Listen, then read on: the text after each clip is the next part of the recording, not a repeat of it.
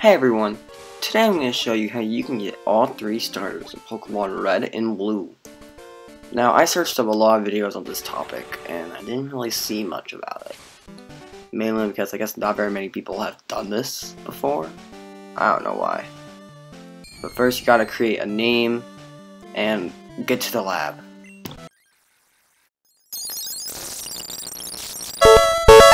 Then you choose your starter. Or at least the first one, that is. I had to choose Charmander as the first one because it was the first Pokeball. You can choose any starter pretty much. You can nickname them, you can do whatever you want. Um, names don't matter for pretty much anything. Except for the final name you choose will be on the next on the third starter. Then you save your game and then you then you reset and create another new profile. Anyways, once you're back in your bedroom, you quickly try you're gonna try to save your game and reset at the same time. As you can tell, I don't have any Pokemon on me. So then, once you try to save, you got you got reset at the right time. This is why having an emulator is so great, because it's a slowdown feature. This makes it a lot easier in order to, um, well, find the right timing, because the timing is very difficult. I was able to do it on my first try three times.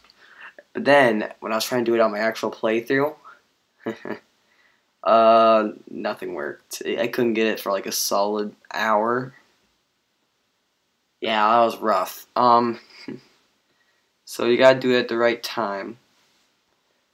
Once you do it at the right time, which I'm gonna have to show you, you gotta do it as soon as you um, prick yes and then reset.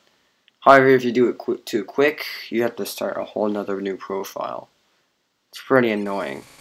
And emulators like RetroArch, which save your game without having like a .sav file, um, are just really difficult to work with, because if you do mess up, then um, it's restart a whole new one after getting a new starter.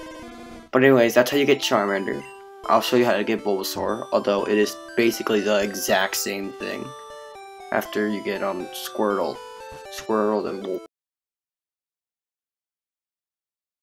So then I chose Pokemon Squirtle, because the order is Charmander, Squirtle, then Bulbasaur. Um, yeah, then you then you get Squirtle, which is good, great, Pog.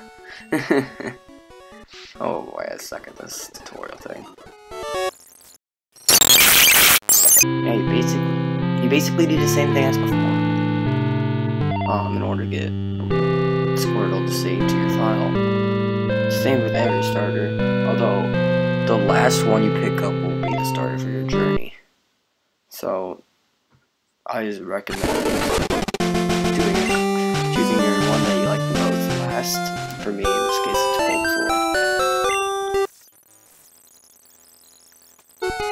As you can see here, I pick up a Bulbasaur. And that's how you pretty much get all three starter Pokemon.